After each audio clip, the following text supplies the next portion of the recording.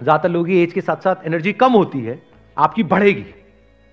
तो अब ये कैसे होगा? नंबर वन बॉडी तो अपनी बॉडी का ध्यान रखना है। As simple as it may sound body को स्ट्रांग बनाओ। कितने हैं जो एक्चुअल में अपनी बॉडी के ऊपर डेली एक घंटा काम करते हैं? अच्छे तरीके से। मतलब बॉडी चीखने लग जाती है, कहती है कि नहीं, बस करो बहुत हुआ। चाहे वो योगा हो, चाहे जिम हो, चाहे ये हो, वो हो। एक्चुअल में स्वेट निकलता है बॉडी में से। बहुत कम।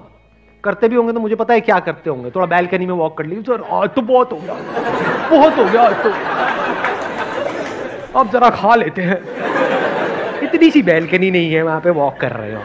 देखा है मैंने ऐसे लोगों को। मैं कह रहा हूँ बॉडी पे काम करने का मतलब क्या? समझ आ रहा है? डेफिनेशन समझ आ रही है? पसीने आने चाहिए। यू मस्ट स्वेट इतना एक्सरसाइज करना है डेली तभी आपकी बॉडी फिट रहेगी। क्योंकि बॉडी इसी के लिए बनी है। पड़े रहने के लिए नहीं बनी है। सिर्फ़ नाम के लिए एक्सरसाइज नहीं करनी है। नाम के लिए वर्कआउट नहीं करना है एक्चुअल में करना है। तो अब ये बात थियोरेटिकली तो हमको समझ आती है प्रैक्टिकली हम क्यों नहीं कर पाते? कभी पूछा है अपने आप से? लोगों के पास टाइम नहीं है सर। अरे क्या बकवास बात है ये। लोगों के पास में टाइम नहीं है। ये एक्सक्यूज है। Never get in this excuse mode दिन में 24 घंटे होते हैं। मैं क्या कह रहा हूँ कि दिन में 24 में से 20 घंटे करो। 24 घंटे में से एक घंटा। परसेंटेज वाइज कितना हुआ? हार्डली चार परसेंट एक घंटा तो अपने ऊपर लगाना बनता है ना, अपनी बॉडी के ऊपर। और टाइम नहीं है तो टाइम हमारा जा रहा है तो कहाँ जा रहा है? अगर बॉडी आपकी फिट नहीं रही, कुछ अचीव कर भी लिया, वो किस काम का है?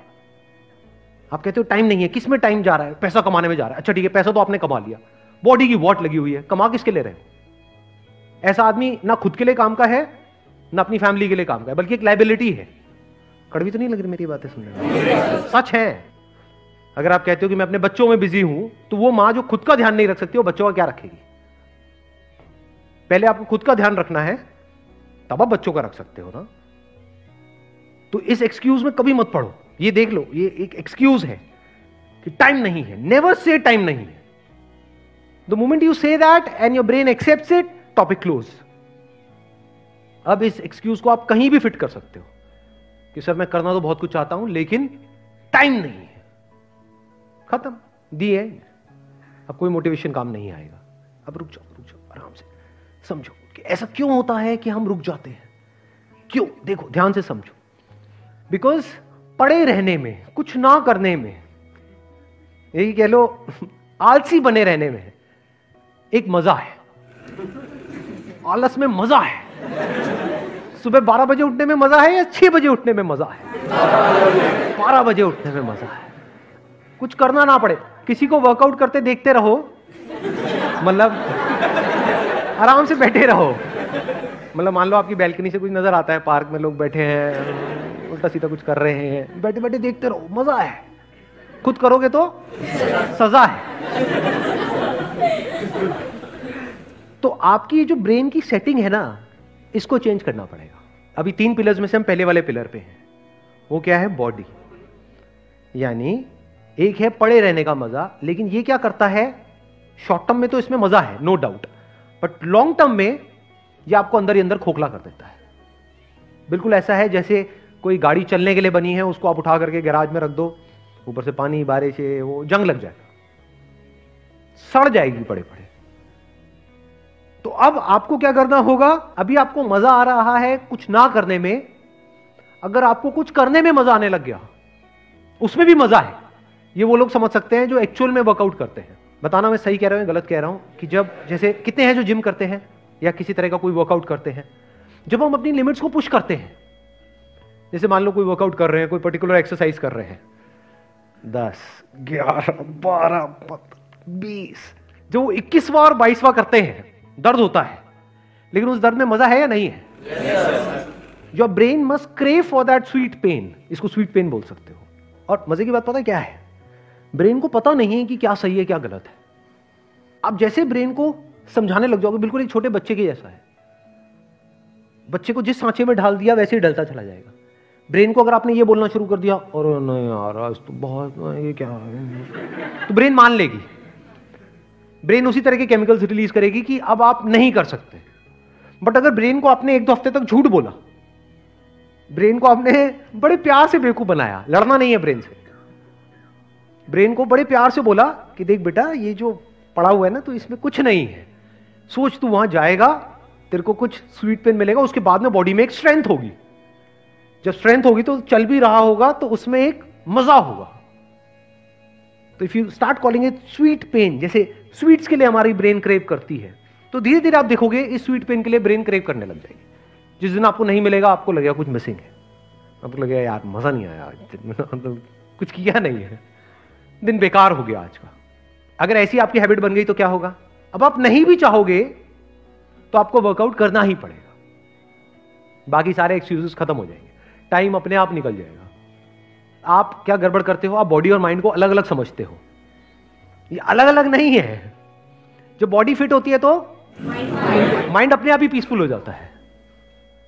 देखो, जब भी हम काम करते हैं अपनी बॉडी पे, या तो करते हैं इमीडिएट रिज़ल्ट के लिए, यानी कि फटाफट से हमको अच्छा फील होने लग जाए तो हम खुश होने लग जाते हैं। अगले दिन करते हैं, इतना अच्छा फील नहीं होता, फिर हम उसको करना छोड़ देते हैं। आपको कुछ बेसिक सी बातें बताऊँगा do you want to know that या नहीं? आगे बढ़ो। हाँ ठीक है। देखो, बड़ी मज़ेदार बात बताता हूँ। कोई भी आप एक्सरसाइज करोगे ना तो उसका जो असर आएगा आपके ऊपर। पहले तो ये समझ लो कि एक गुड पेन होता है, एक बैड पेन होता है। गुड पेन मतलब क्या? कि आपने स्ट्रेच किया, अभी एक पार्ट में पेन आ रहा है। जैसे आपने वो स्ट्रेच करना बंद किया, वो पेन आना बंद हो गया। दिस इज़ गुड पेन एक है आपने कुछ उल्टा सीधा स्ट्रेच कर दिया, और उसके बाद भी वो पेन बढ़ता जा रहा है। दैट इज़ बैड पेन तो you need to understand the difference between good pain and bad pain अब इसमें एक और मज़ेदार बात आपको बताता हूँ कि हमारी जो बॉडीज है, वो हर मोमेंट में चेंज हो रही है। डेली चेंज हो रही है। तो आज अगर आप कुछ एक्सरसाइज करोगे, उसका पेन आ रहा है, मान लो इस जगह पे तो आप कल करोगे, कहीं और आने लग जाएगा।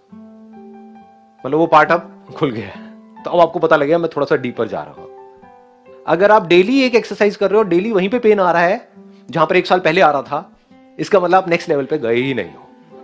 आप वहीं घूम रहे हो, गोल गोल गोल गोल। जैसे कच्छर होता है ना, गोल गोल गोल गोल घूमता है है ना? उसको बाँध दिया जाता है, बस वहीं घूमता रहता है। उसको लगता है कि मैं कुछ कर रहा हूँ। कुछ नहीं कर रहा। वो वहीं है जहाँ पर दस साल पहले था। वहीं गोल गोल गोल गोल घूम रहा है। तो पेन मस्ट शिफ्ट आप समझ गए? वो शिफ्ट होना चाहिए। वहाँ से हटके वहाँ पे पेन होना बंद हो गया और नीचे कहीं पे आया। फिर कहीं और आया, फिर कहीं और। तो अब आपको धीरे धीरे समझ आ रहा है। अब मैं डीपर लेयर्स में पहुँच रहा हूँ अपनी बॉडी की।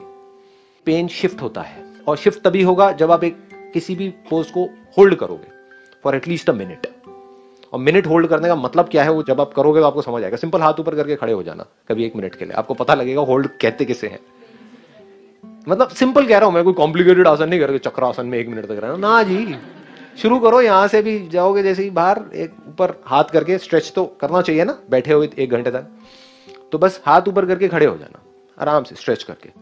एक मिनट काउंट करना। आपको पता लगेगा what is this one minute कभी कभी क्या होगा, आपको बहुत अच्छा फील होने लग जाएगा। ये करने की वजह से एक्सरसाइज करने की वजह से कभी कभी बहुत ही बुरा फील हो रहा होगा। एक्सरसाइज करने का मन नहीं कर रहा होगा। चाहे मन कर रहा है, चाहे बहुत अच्छा लग रहा है, करना है तो करना है। At times you will get lot of pleasure from it इतना प्लेजर मिलेगा जितना आप सोच भी नहीं सकते। अभी आपको पता नहीं है इसकी डेप्थ क्या है। कि once you start working on your body और एक बार आपकी बॉडी फिट होती चली जाती है तो क्या होता है एनर्जी जो है वो पूरा प्रॉपरली फ्लो कर रही होती है। ऐसी एनर्जी होगी कि आप कहोगे कि हो क्या रहा है?